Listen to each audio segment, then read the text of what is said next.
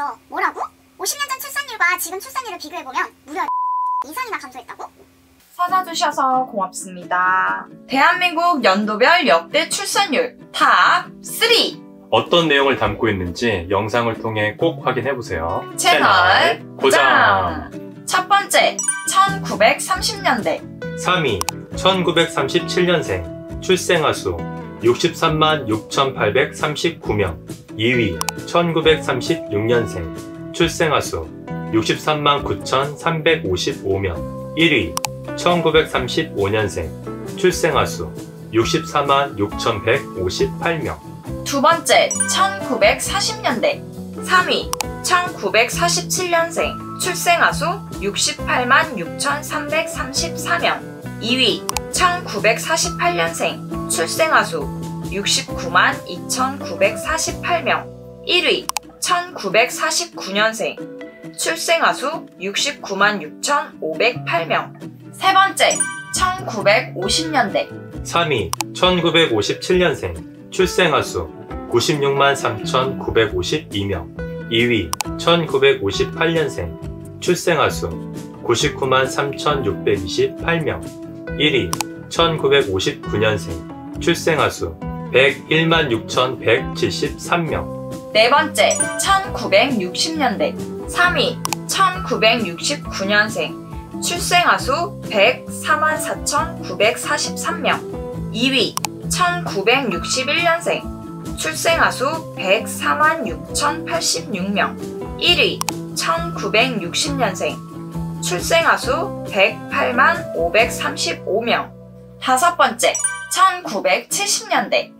3위 1973년생 출생아 수 96만 5,521명 2위 1970년생 출생아 수 100만 6,645명 1위 1971년생 출생아 수 102만 4,773명 여섯 번째, 1980년대. 3위, 1982년생.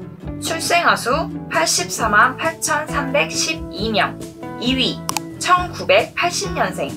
출생아 수 86만 2,835명. 1위, 1981년생. 출생아 수 86만 7,409명. 일곱 번째, 1990년대. 3위 1993년생 출생아 수 71만 5,826명 2위 1994년생 출생아 수 72만 1,185명 1위 1992년생 출생아 수 73만 678명 여덟 번째, 2000년대. 3위, 2002년생. 출생아 수 49만 6,911명. 2위, 2001년생. 출생아 수 55만 9,934명. 1위, 2000년생. 출생아 수 64만 89명. 아홉 번째, 2010년대. 3위 2010년생 출생아 수 47만 171명 2위 2011년생 출생아 수 47만 1265명 1위 2012년생 출생아 수 48만 4,550명 작년 2020년도엔 출생아 수가 약 27만 명에 그쳤다고 합니다. 50년 전과 비교하면 약 75% 정도 감소한 걸로 볼 수 있겠네요. 100만 대 27만이니까 굉장히 그러니까요. 출산율이 저조하다, 저조하다 이런 거 많이 들어서 저조한 줄은 알았는데 이 정도로 심각한 줄은 몰랐네요. 이렇게 통계로 비교해 보니까 확실히 느껴지네요. 그러니까 걱정이 돼요. 맞아요.